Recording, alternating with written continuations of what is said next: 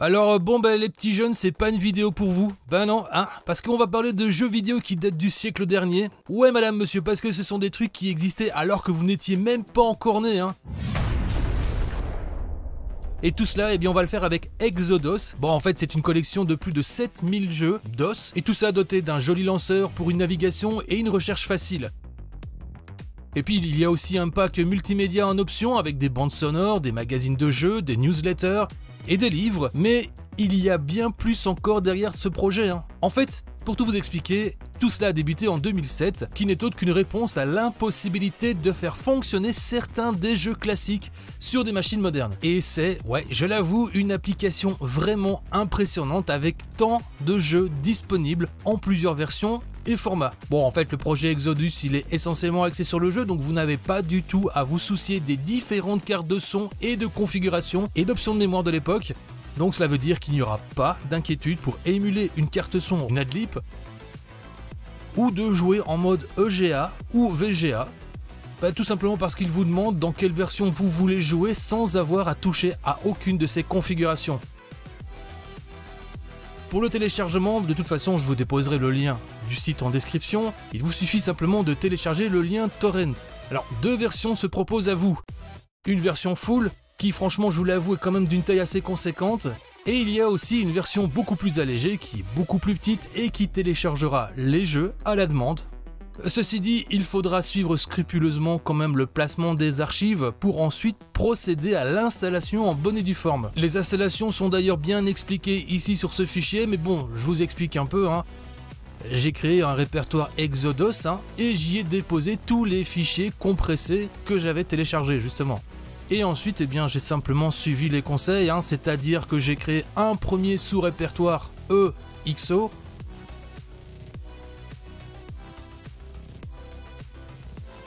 Et un autre qui s'appelle Content.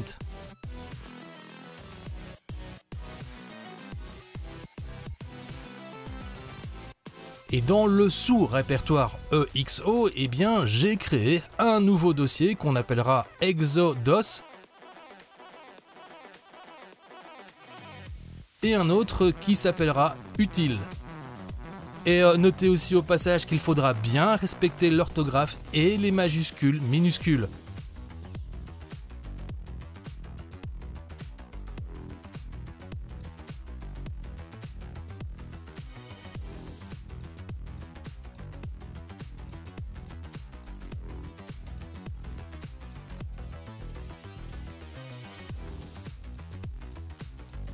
Et puis ensuite, il vous faudra simplement placer les fichiers compressés dans ces répertoires respectifs.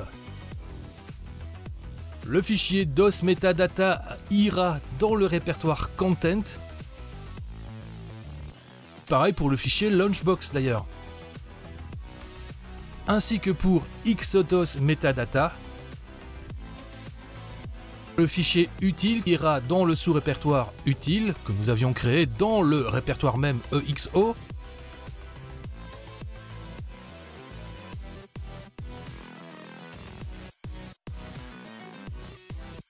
Et donc, eh bien, il ne reste plus qu'un dernier fichier compressé qui s'appelle Exodus. Celui-là, eh je vais simplement le décompresser ici à la racine même. Ben voilà, donc maintenant, voilà la structure à quoi elle devrait ressembler plus ou moins. Il ne me reste plus qu'à exécuter le fichier .bat, c'est-à-dire le exodos.bat. Et après avoir lu le texte, on peut commencer l'installation avec la lettre C pour continue. Suivez ensuite la procédure d'installation, là franchement il n'y a rien de bien compliqué. Hein. Et d'ailleurs on vous demandera peut-être éventuellement si vous souhaitez retirer le contenu adulte. Bah non ça va pas ou quoi Oui, parce qu'en fait, il y a aussi des jeux qui étaient pour les grandes personnes à l'époque. Hein. Mais bon, euh, depuis, moi, je m'en fous, j'ai grandi, hein, donc, eh ben, je m'autorise à accéder à ce contenu un peu plus euh, olé olé. Vous voyez ce que je veux dire? Donc, euh, et comment que j'autorise le contenu adulte? Mais enfin. Et dès que nous sommes prêts, à la fin de l'installation, eh vous pourrez même choisir des configurations globales qui s'appliqueront à tous les jeux, mais vous avez aussi cette chance de constater que chaque jeu que vous allez installer vous donnera aussi la possibilité éventuellement de créer une configuration adaptée, si nécessaire bien sûr. Oui, je sais, vous êtes peut-être un peu pressé à jouer, mais je fais quand même un petit saut dans le manuel d'utilisation. Là aussi, je vous laisserai le lien en description, parce qu'il y a quelques informations qui sont plutôt intéressantes hein, euh, pour ceux qui sont plus jeunes. Donc, par exemple, si vous n'êtes pas familier avec certains aspects techniques, notamment en ce qui concerne le son, eh bien vous pourrez par exemple ici comprendre la différence entre euh, le côté haut-parleur PC, alors que avec le Tandy, vous obteniez trois canaux, ou alors la différence avec le Roland MT32. Et puis vous avez une section qui est dédiée au mode vidéo, qui vous donnera ainsi un petit aperçu de l'évolution de la palette des couleurs et de leur résolution. Ouais ouais je sais, on est quand même bien loin de ce qu'on peut faire maintenant, mais nous on s'éclatait avec ça. Hein. Exodus utilise Launchbox comme lanceur principal. Bah en fait il initialise et configure le tout et puis après bah c'est parti mon zizi. Vous avez accès à une bibliothèque de près de 7000 jeux comme je vous le disais hein, et puis bah, si vous n'avez pas le temps de parcourir toute cette bibliothèque de jeux, on peut par exemple rechercher le jeu dans la barre de recherche ici avec un mot-clé. Et puis ben, pour installer, moi je fais un clic droit sur la vignette qui m'intéresse. Et ainsi vous pourrez sélectionner Install. Et puis voilà, vous aurez une petite fenêtre qui va s'ouvrir et puis vous n'aurez plus qu'à suivre les instructions. Et d'ailleurs à ce sujet, c'est un client torrent qui vous permettra ainsi de télécharger votre jeu. Et vous pourrez ensuite finaliser tout cela en changeant éventuellement ces fameux paramètres proposés par défaut. Ou finalement les conserver après tout. Hein. Et puis ensuite, eh il n'y a plus qu'à faire un bond dans le passé. Hein. Et puis vous la sentez cette nostalgie? Mais revenons quand même à cette interface. Une fois que vous avez par exemple cliqué sur un jeu, eh vous voyez par exemple les informations sur le côté droit, comme par exemple des captures d'écran du jeu, des informations sur la date de sortie, etc. etc. Vous avez même la possibilité éventuellement de lire le manuel d'utilisation du jeu en faisant un clic droit sur la vignette Média et puis View Manual. Et puis rappelez-vous justement, à l'époque, le seul moyen de vérifier s'il ne s'agissait pas d'une version pirate du jeu, eh bien, c'était d'aller chercher un mot ou un élément clé dans le manuel d'utilisation. Eh bien là, figurez-vous par exemple que pour ces jeux, bah il n'y a pas besoin de s'inquiéter. Et je vous en dirai pas plus.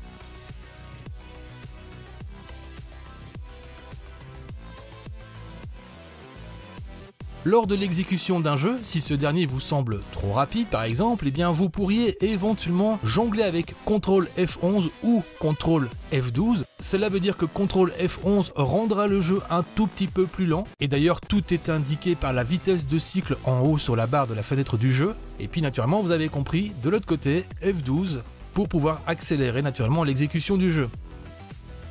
En fait, Exodus utilise de nombreuses versions différentes de DOSBox, pour tirer le meilleur parti de chaque jeu. Pour ma part, c'est un vrai retour aux sources. Ces mêmes jeux qui sont les pères de nos titres d'aujourd'hui. Finalement, bah, c'est aussi une façon de ne pas oublier cet héritage que beaucoup de plus jeunes ignorent aujourd'hui. Enfin voilà, j'avais très envie de partager cette découverte et j'espère qu'en tout cas bah, qu'elle vous a été utile autant qu'à moi. Bah, si c'est le cas, un petit pouce bleu, un petit commentaire bienveillant, juste pour peut-être pas me sentir trop seul en tant que vieux, ce serait cool aussi. Et puis ben pour le reste, d'ici à notre prochaine rencontre qui se fera très prochainement, surtout n'oubliez pas, hein, quoi que vous fassiez, bah ouais bien sûr, faites le bien.